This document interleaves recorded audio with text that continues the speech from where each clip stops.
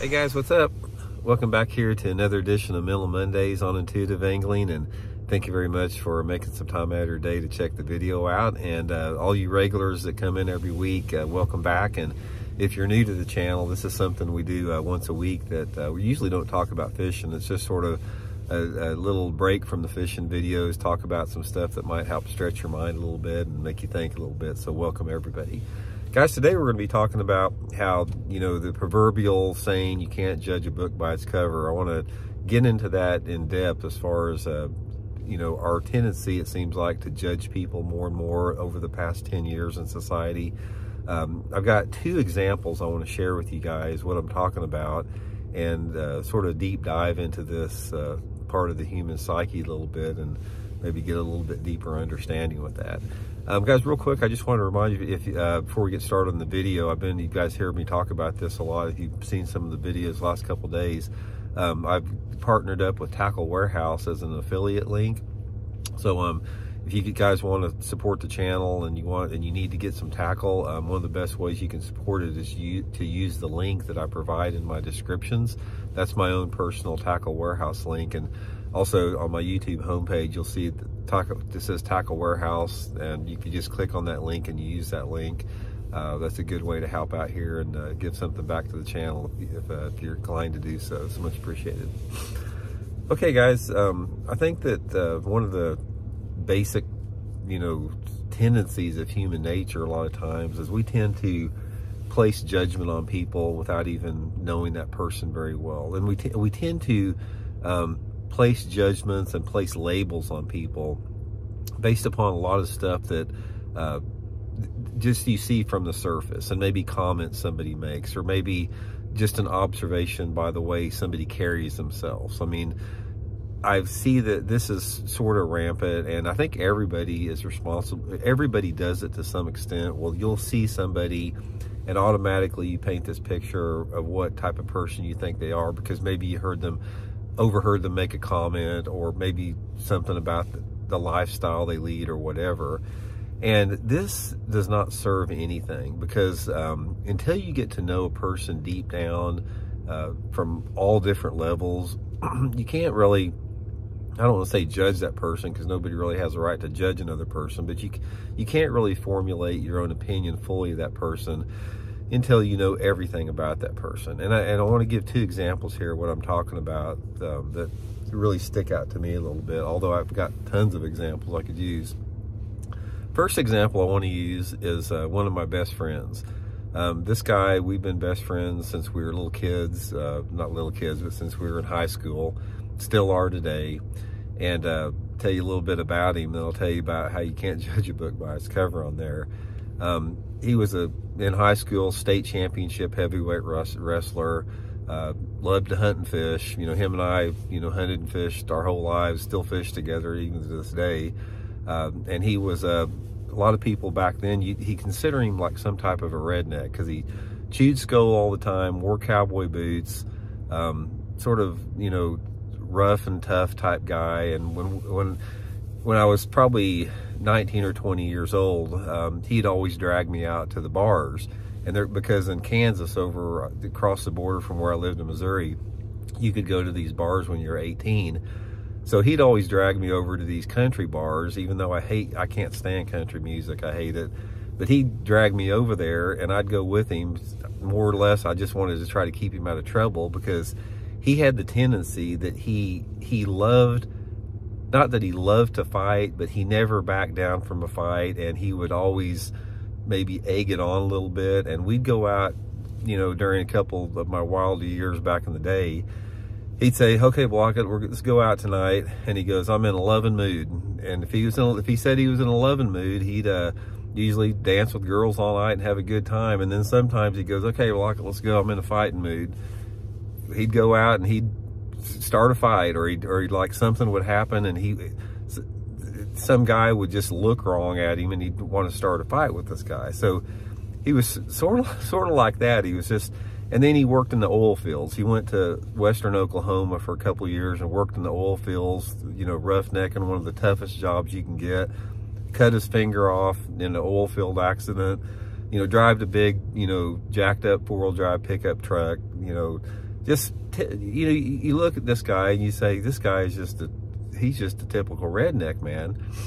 But on top of that, he's also one of the smartest guys I've ever met. He was captain of the debate team in high school. He's a mathematical genius. And on top of that, he's a liberal. He's politically, he's very politically liberal. Social justice, that type of stuff. Some of you never think about that. And prime example of how he is like this, he would, he'd be like, you know, if he was in a convenience store or something like that, and he'd, he'd hear somebody say something bad about Barack Obama or something, you know, he'd walk up to him in his cowboy boots, and he's pretty intimidating guy anyway, and he'd, he'd tell them how they were wrong. If they, if they made some comment about him, he goes, well, he'd say actually how that's not right. And he'd start, you know, relaying some factual information because he's like super savvy and super politically smart. You know, he would like intellectually bully these people on if they said something bad about somebody he liked. And if they got into his face and it got heated, he would be apt to just freaking spit a wad of Skoal on your feet and just knock you out. I mean, that's that's the type of guy he was. You never would think about that, being that he would be leaning in that direction, being such a redneck. And another thing, I remember one time, this has been quite a few years ago, we were driving downtown, and um, this truck passes us. It's just it's this big, jacked up diesel looking truck, and it's got the whole back window on the truck has got a Confederate flag on it. He looks over there at that thing. That pisses me off. And he follows this dude for like five miles until this guy pulls over at the gas station. He gets out of his truck. He goes, well, it looks like you're a fan of slavery, huh? And the guy sort of looks at him. He's a pretty big guy too. And he goes, he goes, no, it's just heritage. And he goes, my buddy goes, bullshit. That's not heritage. And he started listing all of the historical facts around how the Civil War was fought, you know, for the South to protect slavery. And he, he got into details and this and that. And by the end of this conversation, this other guy that had the Confederate flag, he didn't know what to say. He just got in his truck and left. But that's the type of guy he was. You know, a lot of people assume a certain, you know, they would, before they knew him, they would assume he was in a completely different direction and he wasn't out there. The other story I got, this was a deal where um, back in Joplin, Missouri, I worked at a restaurant called the Rafters Restaurant back in the late 70s when I was in high school. And I usually work, you know, a few hours after school in the evening, and then I'd work like Friday and Saturday nights. I'd go in like at six o'clock and I'd work to midnight, you know, getting enough money to put gas in my little beat up 14 foot flat bottom boat. And there was this couple that came in there every day they came in for lunch. They came in there for dinner. I don't even think that they ever ate at home. They were in there every single day. Now, this was like the nicest restaurant in town. I was a busboy there.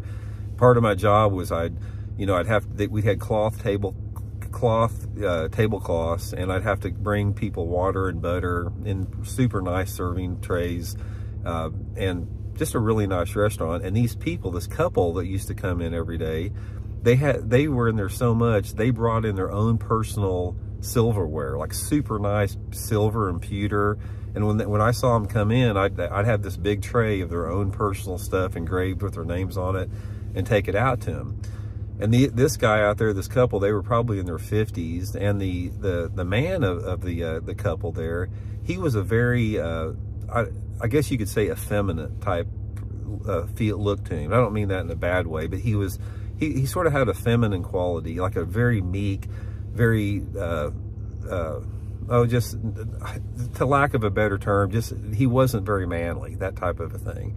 He'd have like these super, like these fluffy lace uh, uh, shirts on, and he'd have like a handkerchief in his pocket. You know, his hands were like perfectly manicured, and just you know what I'm talking about. He's just just very, very did not look like a very manly type person. And anyway, for a couple years, I served these people. They were nice. And he even had like this real mild, high-pitched voice and that type of thing. And I didn't judge that, but I just, I mentally pictured in my mind what type of person this was. He just seemed like a really meek, mild-mannered, soft person, that type of deal. So anyway, years went by and about five years ago, now this has been 45 years after I worked in that restaurant, I ran into his son. And we got talking, the conversation led, and I found out that his dad, the you know, the guy that I used to wait on at the restaurant, he was in the Marine Corps in, in World War II, and he fought on Iwo Jima, he fought on Peleliu, you know, some of the bloodiest, horrific battles of World War II, and told me all about it. You know, his dad was a Marine in World War II, and I just couldn't believe it, you know, and I, I and I ran into him. I happened to run into him about a month later, and he was like 90 some years old at the time. And I and I got talking to him. I said, you know, I told him his name. And I said, you know, I used to wait on you at the Rafters Restaurant back in the 70s, and we got talking. And I told him that I'd found out that he was a an Iwo Jima veteran of Marines. He goes, yeah. He goes, um, he goes, I'll tell you a little story. He said, he goes, when I went in there on the first wave, he said, if you ever seen Iwo Jima, you've seen those black sand beaches that were real steep. He goes, I finally got to, I got to the top of the beach when we landed there and we were getting hit by machine gun fire super hard on the beach. And he goes, there just happened to be a log that was in front of me that was about 10 inches long. He goes, I got in behind that log and he goes, that saved me. He goes, they were peppering all around, killing people around me with that machine gun. He goes, but that log saved me on Iwo Jima. So I had this this impression in my mind that this guy was like this sort of this milk toast dude, and he was a freaking badass Marine on Iwo Jima. So you can't ever judge somebody by their cover. It's just like my buddy that was that's the redneck spitting cowboy spitting Skoal and hunting and fishing and you know wrestling and fighting.